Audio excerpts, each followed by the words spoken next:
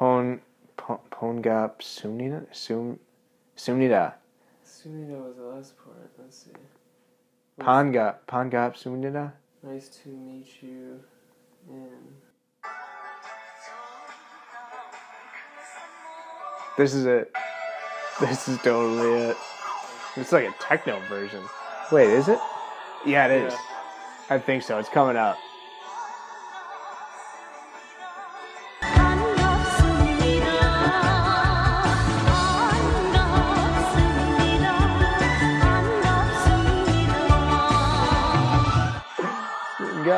Pongap Sumnida. Pongap Sumnida.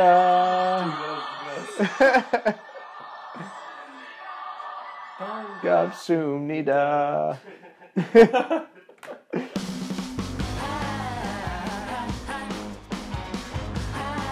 So, at the end of every day, we'd typically go out to eat. All the places we went to were specific to or unique to just tourists. But yeah, dinner was interesting. One time we went to a place where we started eating, and, and a lady came out and started singing karaoke um, to just us. I mean, we were the only ones there.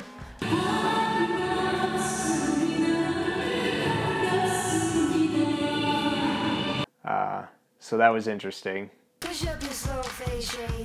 Yeah, so we get to uh, the DPRK, we run a race the next day, see a couple things, go to a couple museums, a library. Then we went on a little road trip, three hour drive to the DMZ, there where we stayed at a really strange abandoned hotel.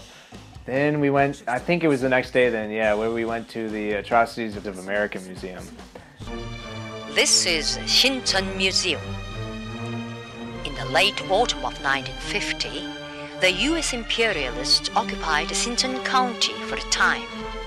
The aggressors brutally killed over 35,000 local people, a quarter of the county inhabitants, in 52 days. The museum exhibits materials related to the murder, deadly weapons, and remains of the incidents.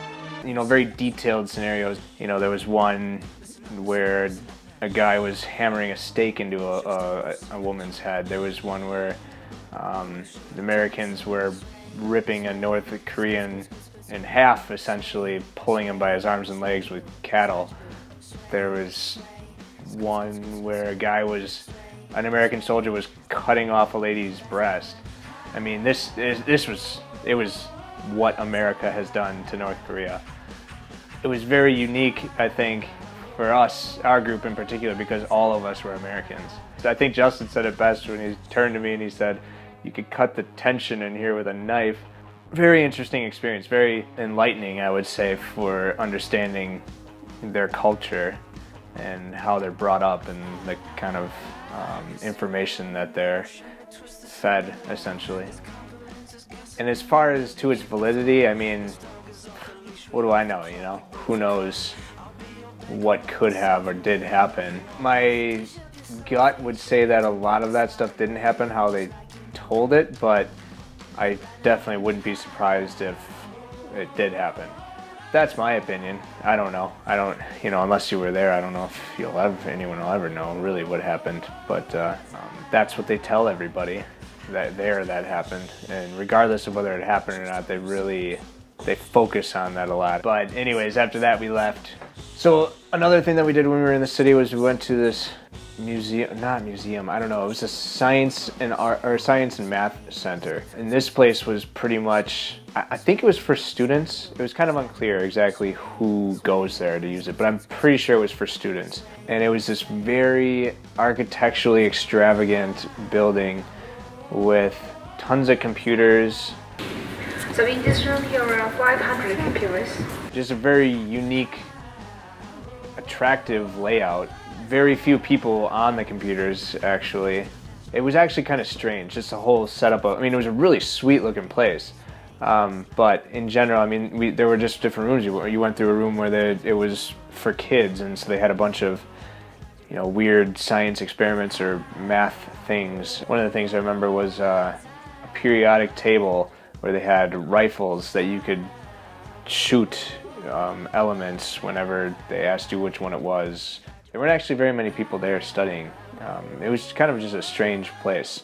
So at the end of the tour of the science and math place, uh, we go into this room where they've got the visitor books, like they have at other places that we've gone and visited, where you can write something if you're so bold. One of our one of the guys in our group wrote something that it turned out they didn't like.